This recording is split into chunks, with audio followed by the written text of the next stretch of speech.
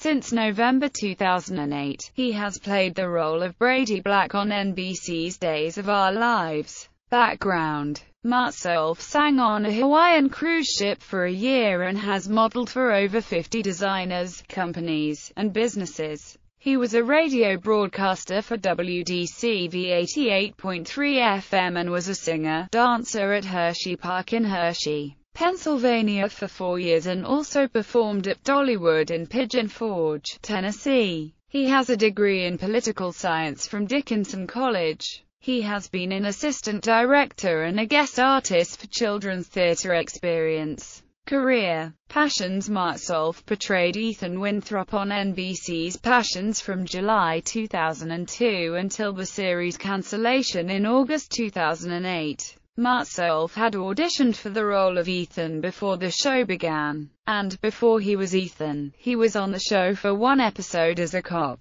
He was voted favorite actor on Passions for more than 80 weeks in a row in Soap Opera Digest. Days of Our Lives Martsolf made his first appearance in the role of Brady Black on Days of Our Lives on November 13, 2008. The character had previously been portrayed by Kyle Lowder until 2005. In 2014, he won a Daytime Emmy Award for Outstanding Supporting Actor in a Drama Series for his portrayal of Brady. Misbehave Between 2010 and 2012, Martsolf made three appearances as Marcus Dunn on the teen drama web series Misbehave, which also featured former Days of Our Lives performers Jillian Clare, Darin Brooks and Patrika Darbo. Personal life Martsolf and Lisa Kouchak met doing musical theatre together, and married on October 10, 2003. His twin sons, Mason Allen and Chase Evan, were born on April 7, 2006.